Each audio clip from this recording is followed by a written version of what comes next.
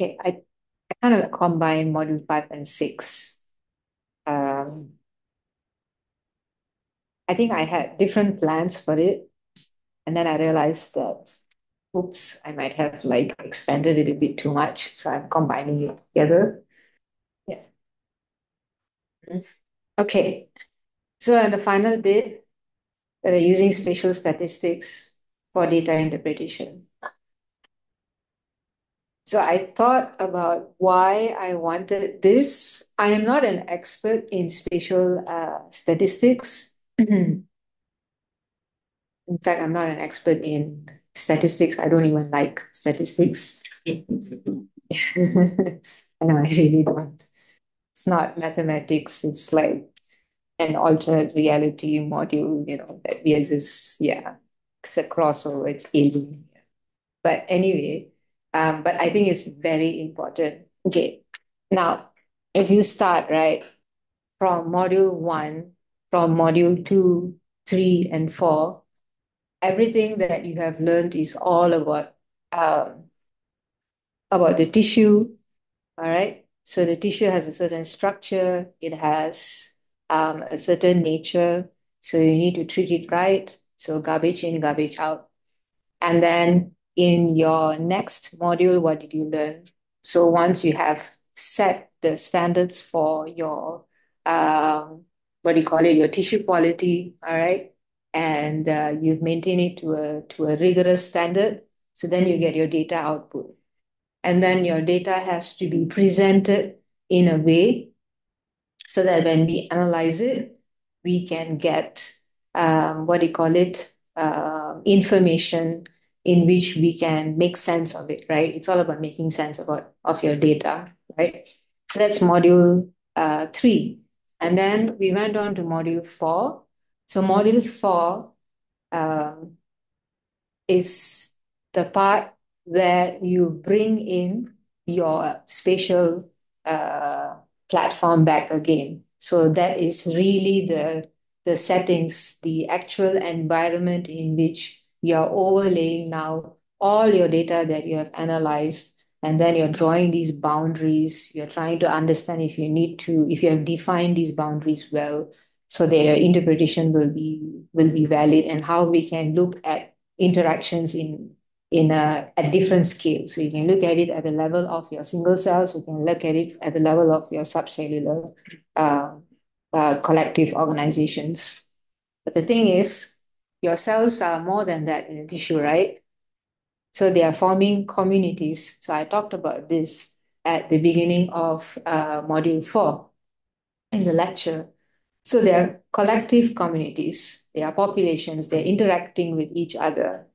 And many of these uh, models that we build, for instance, including our deep learning, whether it's your deep learning algorithms for segmentation or whether it is Baysor or Proseg, which is based on probabilistic models of distribution. These work only because at the spatial setting, all right, your cells are organized in a meaningful way.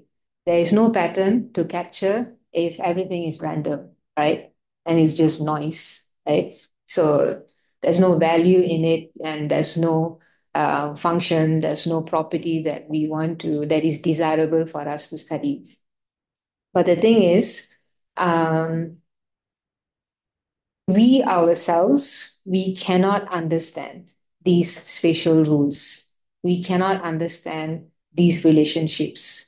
And that is because it's something that is very new to us, but it's not new to, let's say, those who have. So those scientists who work on geographical location, uh, mapping, cartography, they know this. They know that every point on Earth has got a spatial relationship.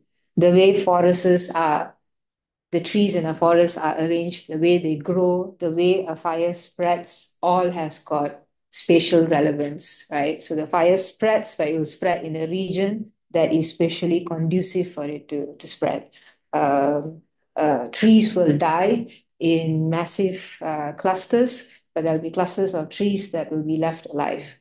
And there is a spatial, um, what do you call it, pattern to it. And If you look at your liver, you look at your brain, everything is organized in orders of relevance, right? They all have a pattern.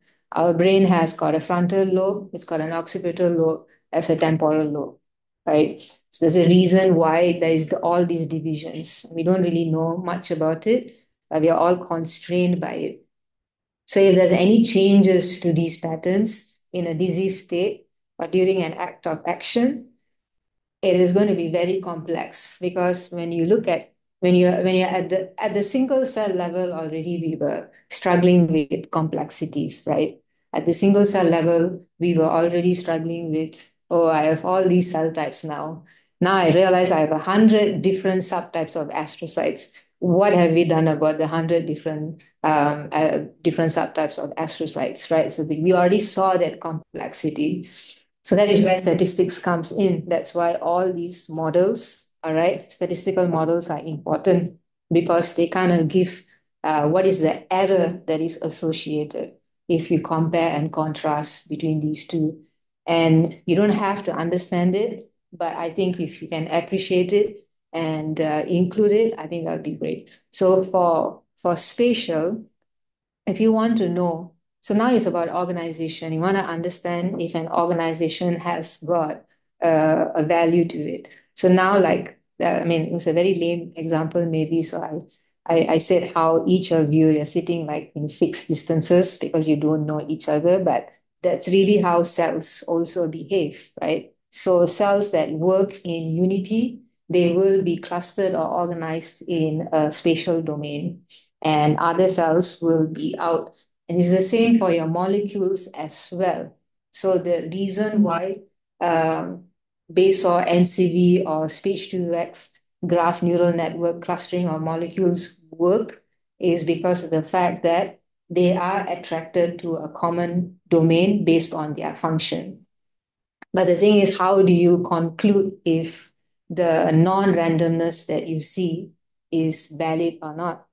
So humans, we are not really good at, uh, we are very good at seeing patterns, but like I said, sometimes we are kind of over generous in the in in what we think is a is a pattern, you know, because our brain is is tuned for it. So, for instance, we see spatial patterns everywhere. So, a simple question would would you be able to identify dif the differences in their spatial distributions from the image that I've shown you? So the bottom image, that is a dispersed image. But that's not random. Over dispersion is not random, like I said. So that is non-random. That is an over-dispersed model at the bottom.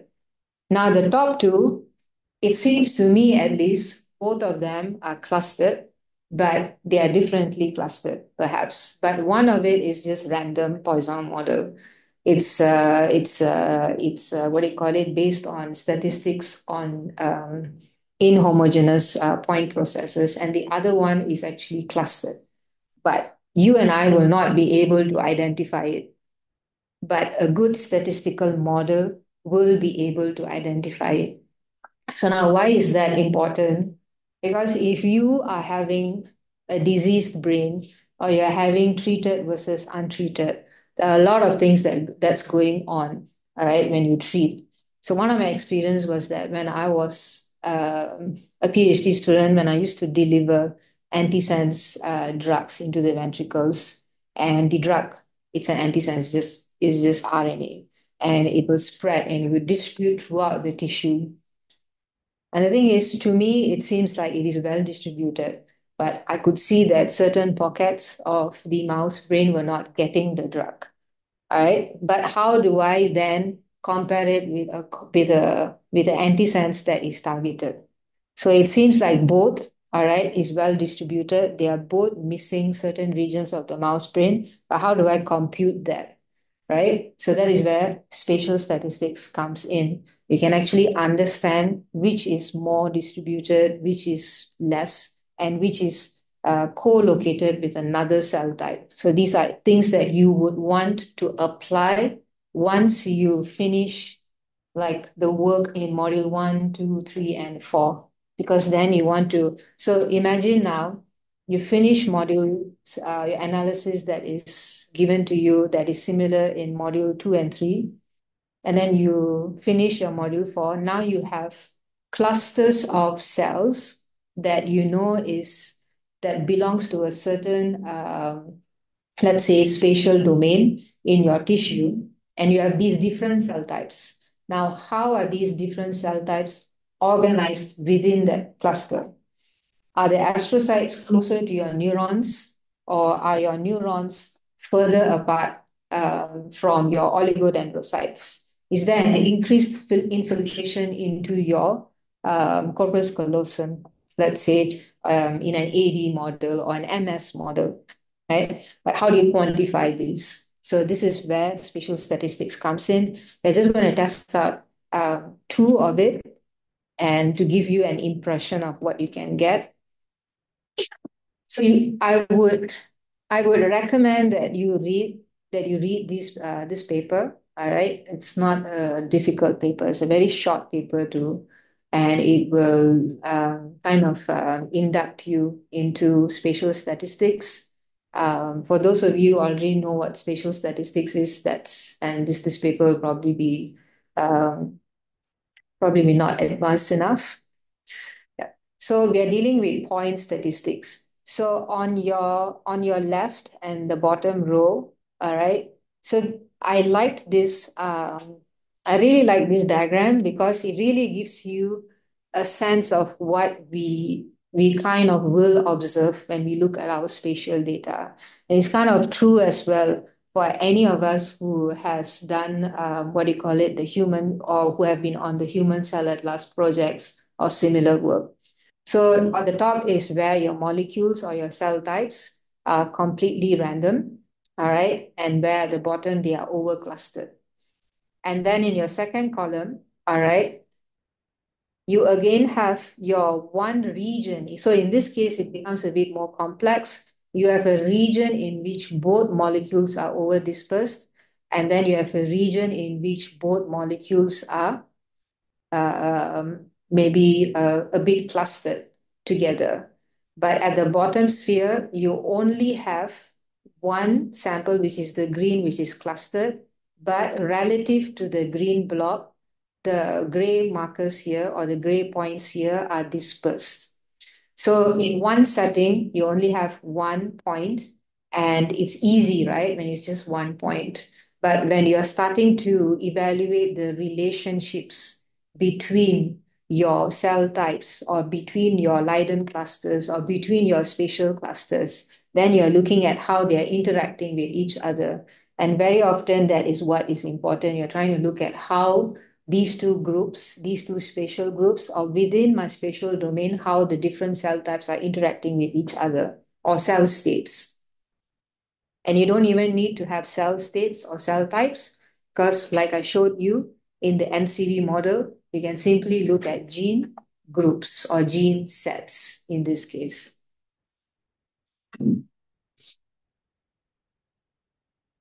Right. So some of the things that um, we take it for granted in a tissue is uh, not only do we have um, the issue of cell, so we have this issue of segmentation. So what, what makes segmentation hard, as um, I've told you before, one of the things is that it's really difficult to segment your DAPI, especially when cells are uh, very clustered together and they are very close together. But the thing is, if you really look at um, um, cell density, right? Cell density itself is a story itself. So very often your cell density, all right, will change according to its function as well. So when I used to do lots of um, staining of uh, the human brain or fetal brain, you'll find different cell densities as you go from your ventricles, from your subventricular zone to your outer ventricular zone to your inter your to your interzonal ventricular zone to your cortex. So the densities keep changing. And these and these changes in density, which you can also compute. So you don't always have to compute something, something very, very complicated like um, a gene signature or an NCV. Something very simple like cell density changes across your tissues will also tell you a story. Why? Because your cell density changes. It also means that the ECM surrounding those cells are also changes, right? Are changing, right? And isn't ECM part of the microenvironment as well? There's lots of signaling, lots of molecules, lots of interactions, uh, molecular gradients that's happening there. And we're not catching any of those unless, all right, you want to combine your xenium with mass spec. And you can do that too, right? Your xenium, you can take the slide out, slide out, or you can give an adjacent slide, you can send it for mass spec. You'll have ECM signatures. So these are profound ways in which you can couple your, your experiments. And then the other thing is intensity. Now, when I when I selected Banksy for for um, as a demo to to to kind of bring about the point about spatial clustering, it wasn't just because it was um, yeah it was simple to use and it, it was very well structured for for lessons. But the thing is, the thing about Banksy is that it also introduces the concept of using computer vision. Now, computer vision algorithms are very, very powerful algorithms because what they are what they are doing is they are basically finding patterns. All right. An image is not just an image, it's a pixel. And spatial transcriptomics was not the first technology that uses spatial images, use spatial information all right? Um, all the analysis that has been done on images, they all use spatial information. It's just that it's not apparent, but you are looking at the distributional properties and the distributional relationships between your pixels. That's how your neural networks learn. We might not know the fundamental algorithms that or the math or the functions that's going on that it's picking up, that it's that it's crafting, but it is learning these associations between pixels. That's all that is doing. All right. That is what is it cannot it cannot see what is not there. All right, it cannot see beyond it. Okay. So now, all right, that computer vision algorithm, and that's why I brought up the, the idea that you can implement your own algorithms, you can implement your own um, what do you call it, um, even an AI model to extract these features because the pattern of cellular distribution also matters. So if a gradient is changing from region A to region B, all right, you don't, you don't just want to look at the differences in the cell types, right? You want to see how the gradient is changing. So if the gradient is changing and midway it is showing a different infiltration of cells, and infiltration is a very important concept in cancer biology and also in at least and I mean definitely in GBM it is right. So you have all of these um, gradient measurements, and we don't take into account when we just do our clustering and cell type labeling and um, just finding proportions of cell types in different regions. You also want to mark out the gradients of changes. Now, another thing is that sometimes distributional patterns are extremely difficult to, to um, ascertain. So in a tissue, right, you also have to be, as much as all of these statistical um, evaluations are important, and this is not just this is not just true for spatial statistics. This is also true for module two and module three, the way we cluster, all right, and define our cluster is that, like I mentioned in the previous um, module, I think someone asked me a question, I cannot remember, is that we do not have sufficient spatial coverage to understand if um, the spatial relationships that we see is real or not. We do not have the strength. We do not have the strength or the power of analysis. We don't have that, right? So the thing is, if I were to expand my experiment and now I included from the same surface, all right, I, inc I included patch A and patch B from the same patient, together with the additional spatial information, is going to tell me a different story. It's going to give me a different relationship, right? So now imagine just within that tissue itself, all right, sometimes you'll see lots of blood vessels. All right. Now, it is natural that when cells hit a barrier, they will try to circumvent it by moving around it. And we might wrongly assume, all right, that when we see cells that are clustered around a blood vessel, that, oh, look, you know, I see clustering of my immune cells, or I see clustering of some cells or some cell state. But it could just be like, you know, look, these blood vessels are getting in my way. So, you know, I just want to circumvent it. So these are things that we will not know, but we will assume because we don't have enough of that spatial information. Because at that point in time, just like single cell RNA sequencing, your spatial information that you receive, it is static. At that point in time, you're capturing that state that it exists in, right? So that is why we need to have all of these uh, pattern descriptors. So one kind of pattern descriptors will be computer vision, um, the other kind, I think, would also be statistical tools that I'm going to show you. I'm going to show you two of them. All right. And uh, you can understand. And then there is this thing of scale. All right. So this last diagram at the bottom. So this, there's thing, there's this important thing about scale that is very important in any kind of uh, pattern description model. And this is something that in imaging, we do it all the time, is that at different scales, all right, my pixel distribution will tell me a different story. Because I can have cells which are very clustered. So if I just zoom in on a blood vessel, on all the capillaries, they'll all look the same, right? I mean, of course, they'll all look the same. They're all round and, you know, they're all the epithelial cells, nothing different. But when I make my window larger, I'm going to see a difference. I will see that in some regions, I will have capillaries associated with a certain cell type and they are close together. All right. And then in a different region, I'll have a different pattern. So the same thing that we found in Banksy as well. All right. Why is spatial clustering so difficult? Because you do not know what is the spatial resolution to fix. All right. We are still discovering, especially for many of us who are working on disease tissues is much harder. So that's why the scaling matters. If you look at one scale, you miss out information on the other scale. So this is an important concept whenever you find whenever you want to understand patterns in nature. You know, so it's like a leaf, right? So you, a leaf has got so leaves were really, I think it was really leaves and plants where all of these pattern descriptions started, you know plant biology, you know, insect biology, you know, because that's when all of these pattern descriptions started to get formed. And we are just uh, applying it now to our own um, settings as well. Uh, no more break. okay, so now I'll just go into uh, module five and six. All right. It doesn't want me to escape.